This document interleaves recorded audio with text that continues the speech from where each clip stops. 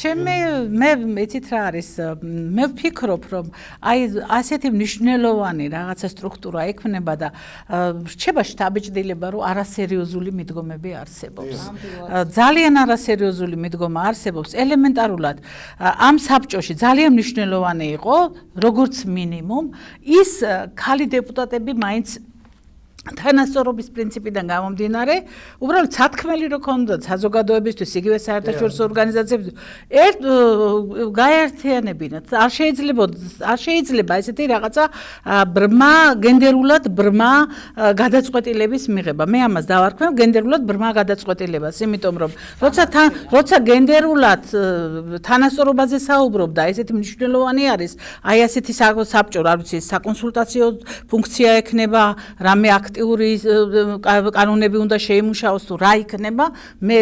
ჯერჯერობით ძალიან წირი ინფორმაცია მაქვს მაგრამ ძალიან ბევრ ინფორმაციას გამოვითხოვ და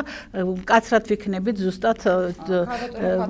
თვალმიდევნებული ამ საკითხთან დაკავშირებით. ინფორმაცია მოვითხოვე მაგალითად ქაბატონი ლიაჩლაჩისგან და თავმჯდომარესგან და ქაბატონი ლიაჩლაჩი თქვა რომ ამის შესახებ თუ მთელ გორის მუნიციპალიტეტში რაც ქალთა ორგანიზაციები ყველა ყოფილი ხართ საქმის კურსში თქვენ შეჯერებულ ხარ და თქვენი კანდიდატი ყოფილა ქალბატონი ლამარა შაყულაშვილი ამ საკითხებთან დაკავშირებით როცა დაუსვე რომ იქ კანონში არ არის განსაზღვრული ერთი უნდა იყოს მოწვეული ექსპერტი და შეიძლება 10 და 20-იც მოიწიო და ქალბატონი ქალბატონი ლამარა შაყულაშვილი აი ერთი წუთი მაგისტრის დედა მაგის გამო უნდა იყოს ყველგან გენდერულ საბჭოში მე მეჩნევა ეს არ შეიძლება ასეთი არა ქალბატონი ლამარა საკმაოდ კომპეტენტური ამ საკითხში და ძალიან გამეხარ ძალიან გამეხარდება თუ იქნება ასეთ რა ვიცი საკონსულტაციო ორგანო იქნება თუ აღმასრულებელი ორგანო, მაგრამ გასულ წელს ქალბატონი ლამარა აირჩიეს მერის მრჩეველის თუ რაღაც ესეთ პოზიციაზე. ეს იყო აბსოლუტურად სხვა, ის თვითონ ერთეული როგორც გორის მერია აღარ არსებობს ახლა შესაბამისად ის არჩევნებიც ანულირებულია. რაც შეეხება ახლა თუ თქვათ ქალთა ორგანიზაციებს უნდა წარედგინათ ვინმე ასეთი, არ ვიცი, მე არა ვარ საქმის კურსში, ჩემთან არ და ჩემი ორგანიზაციის არც ერთი თანამშრომელი არ არის ამ საკითხზე ინფორმირებული. მეცაც გეტყვით, ჩვენ გვაქვს შიდა ქართლის ქალთა სამთავრობო ორგანიზაციების ქსელი ამ ქალთა და აქ არიან გაერთიანებული ის ორგანიზაციები და საინიციატივო ჯგუფები, რომლებიც შიდა ქართლში არიან და მათ შორის გორში დაფუძნებული და მოქმედებენ. და 10-მდე ორგანიზაციაა გაერთიანებული, აქედან დაახლოებით 5 მაინც არის და არც ერთი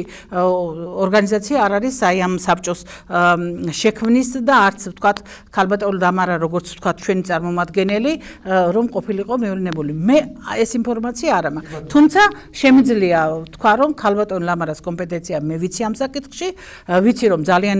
აქტიურია და ერთგულია ქალთა უფლებების და გენდერული თანასწორობის და მივესალმები თუ იქნება მაგრამ ეს არნიშნავს რომ გენდერული საბჭოს წევრი უნდა იყოს ქალბატონი ლამარა. ასევე შეიძლება ექსპერტად მოწვეული იყოს სხვა ამ საკითხებზე მომუშავე სასურველი სასურველი იქნებოდა ამაში არ წერია რომ მაინც ერთი ორგანიზაციის წარმომადგენელი იყოს გენდერ იქ ჩვენ მოწვეული უნდა იქნას ჩვენ ეს არის ეს არის კანონში მაგრამ ლადო იძახის რომ ეს